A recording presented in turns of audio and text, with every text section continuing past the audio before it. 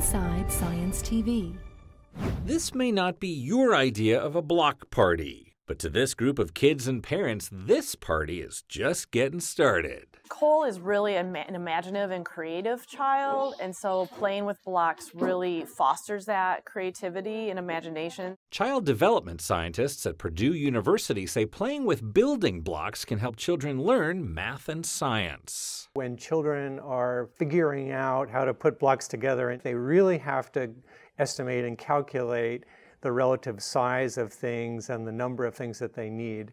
And so it's a very concrete math experience. These budding engineers use their imaginations to design and build their projects while getting hands on experience with measuring, counting, organizing, and problem solving. He might just start stacking some very small blocks together and they tumble pretty quickly. So then he learns that he's got to start with a more of a stronger foundation. Smaller blocks help kids develop fine motor skills like improving movements in the fingers, and larger ones help them understand structure and stability. There were benefits in terms of their understanding of basic physics concepts having to do with gravity and balance. And parents benefit too. You know, as an adult, sometimes it's nice to focus on a simple activity and it's fun, of, of course, to play with your child. A simple, tried and true technology goes a long way to expand young minds. I'm Josh Lebowitz, reporting.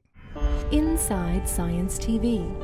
If you enjoyed this edition, follow us on the web and social media powered by the American Institute of Physics and a coalition of underwriters.